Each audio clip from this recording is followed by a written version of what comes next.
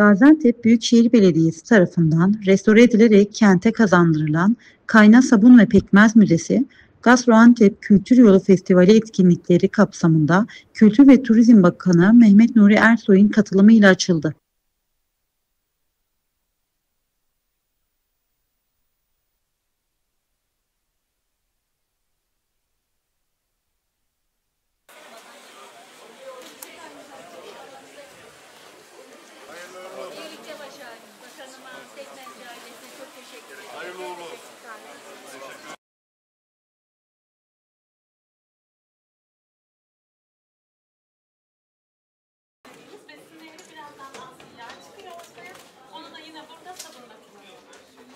En